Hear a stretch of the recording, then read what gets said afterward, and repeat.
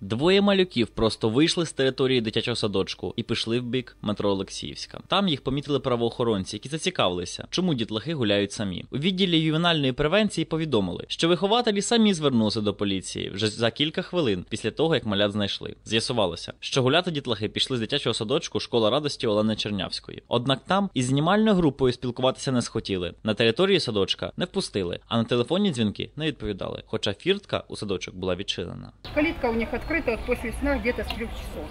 И та калитка эта открыта с трех часов.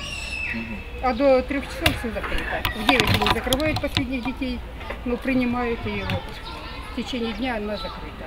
Але виявляється, що вилізти з території садочка можна і через секретний лаз. Це журналістам розказує малий вихованець школи радості під час бесіди з його матір'ю Іриною. Про цей лаз сама Ірина не знає. Цими ж також це діти можуть пролізти. Може, і може, це питання не до мене. Це, А навірно, вот до я когда-то адміністрації. пролез за про колпачком.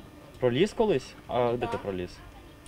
Та ні, це он. За, за забор через дыру там было. Дира? От в тій стороні Ну, це ж ну, то ні. Це он. Это была Покажи туда, стола, покажи, там сам есть покажи. дыра такая, и я через нее пролез за колпачком. Дірка? А дорослі знають про неї? От про ту діру. Вам нічого не казали про це? Він не Ні. казав нічого? Ні, коли ти пролазив? Это когда я бла- брал фломастеры.